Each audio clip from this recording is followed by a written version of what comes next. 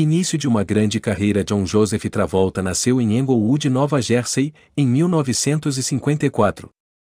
Primogênito de seis, foi inscrito pela mãe na adolescência em uma escola de teatro em Nova York, Estados Unidos.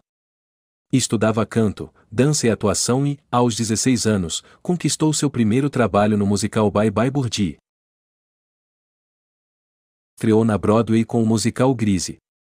Em busca de novas oportunidades em Hollywood, mudou-se para Los Angeles, onde conseguiu pequenos papéis em séries de televisão. O ator começou a ficar conhecido entre o público norte-americano com Welcome Back, Coter de 1975 a 79.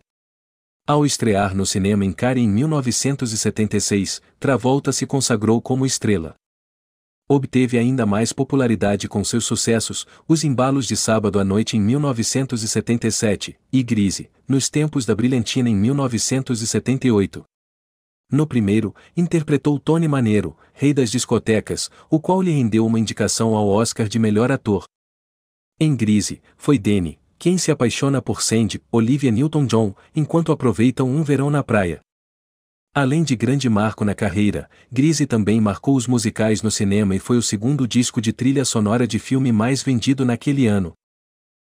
Com tamanho sucesso, a parceria de Travolta e Olivia Newton-John foi repetida em Embalos a 2 de 1983, mas não obtiveram o mesmo sucesso.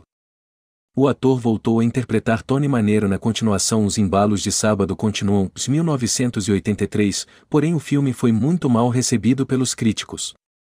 Com isso, Travolta caiu no ostracismo durante a década de 1980.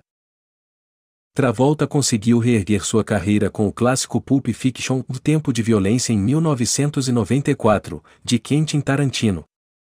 O personagem Vincent Vega rendeu uma outra indicação ao Oscar, além de ter marcado de forma muito positiva sua carreira, sendo icônico até hoje. Além da vida dedicada ao cinema, Travolta ama voar nas horas vagas. Apaixonado por aeronaves, é piloto e dono de um Boeing 707. No quesito amoroso, foi casado com Kelly Preston de 1991 até 2020, ano da morte da atriz. Tiveram três filhos, porém, o mais velho faleceu devido a uma convulsão, Travolta apareceu novamente nas premiações de 2017 com seu papel na série American Crime Story, no Povo contra O.J. Simpson, responsável pelo seu Globo de Ouro de melhor ator coadjuvante. Mesmo com extremos na carreira, como suas indicações ao Oscar e ao Framboesa de Ouro, Travolta mostrou ter grande poder de reinvenção e seu talento para cantar, dançar e interpretar serão sempre lembrados como símbolos da versatilidade do icônico ator. Obrigado por assistir. E até o próximo vídeo.